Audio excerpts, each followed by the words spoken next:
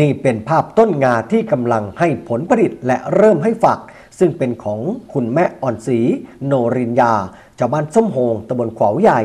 อำเภอกันทรวิชัยจังหวัดมหาสารคาม ที่ทำการปลูกไว้ภายในสวนเกษตร ภายหลังจากที่ได้ไปขอเมล็ดพันธุ์จากเพื่อนบ้าน มาทดลองปลูก หวังไว้เป็นต้นพันธุ์ และก็ไว้ใส่อาหารรับประทาน ปรากฏว่า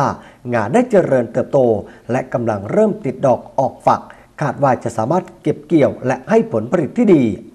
โดยคุณแม่เอินศรีโนรินยา ชาวบ้านส้มโฮงบอกว่าสาเหตุที่ตนเองนำงามาปลูกก็เน้นปลูกไว้รับประทานเท่านั้น และก็มีความคิดว่าจะนำเมล็ดที่ได้มาปลูกขยายเพิ่มให้มากขึ้น น่าจะพอสร้างรายได้เสริมควบคู่กันไป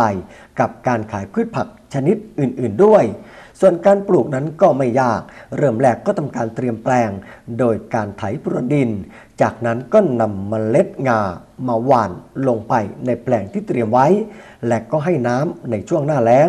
ส่วนหน้าฝนก็ปล่อยให้เจริญเติบโตเองตามธรรมชาติ แถมไม่ต้องบำรุงปุ๋ยอะไรมากมาย งาก็สามารถที่จะเจริญเติบโต และให้ผลผลิตเป็นจำนวนมาก ปลูกประมาณ 3 เดือนก็สามารถเก็บเกี่ยวผลผลิตได้แล้วสำหรับการเก็บเกี่ยวเอาเมล็ดงา ก็จะรอให้ฝักเหลืองเต็มที่ก่อน จากนั้นก็จะนำไปตากแดด และก็ทำการเคาะเอาเฉพาะเมล็ดงาออกจากฝัก ซึ่งเมล็ดงาที่ได้ในครั้งนี้ก็จะเก็บไว้เป็นเมล็ดพันธุ์ปลูกไว้ในครั้งต่อไป หากอนาคตข้างหน้างาขายได้ราคาที่ดี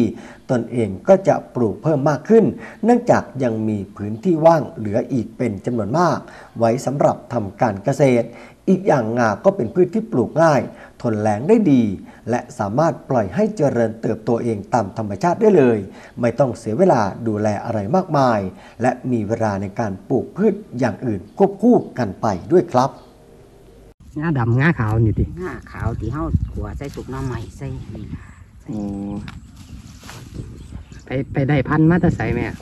โอ้ยขอน้ำข้าเจ้าล่ะขอนำข้าเจ้ามาปลูกแม่นโอ้ อันนี้ก็คือปลูกไว้ถ้ากินแต่คือจังใดไปถ้ากินนี่ไปถ้าขัวใส่สุกหน้ำใหม่อืมครับเอามันนั่นว่าท่านได้เป็นไนบอกพคืออจังใดมันนั่งก็แม่เป็นดอกกันนั่นอีกโดนปานใดแม่จักเดือน โดนมันบ่ เป็นหมากแล้วก็บ่โดนนี่ล่ะมันก็สิแก่ก็สิครับ ตัด อืมแม่ปลูกน้อยๆสิจ้ะมันดับแนว อันนี้ก็สิเอาพันธุ์น้ำเตะ แม่นไปครับเอาปลูกไปรุ่นเองแล้ว โอ้มันทีบ่หลายก็เลยกลนปลูกแปลงหนึงเอาน้ำหดแล้วที่ฝนบ่ตกไปให้อืมอ้าวใช่อยู่งานี่ก็ปลูกบ่ยากกันบ่แม่นเอาเอาในวานเลยเตะเอาในวานเดี๋ยวมันก็ขึ้นเองเตะมันก็ขึ้นเองโอ้แล้วก็งดน้ำ หดน้ส่วนใหญ่เขากับปลูกพืชระยะสั้นติำแม่นปลูกทั้งสี่แล้วอืมพริกอหย่าง พริกปลูกผักลงผักนี่ล่ะครับ ทั้งน้อยนี่ก็ผักกาดเนาะครับ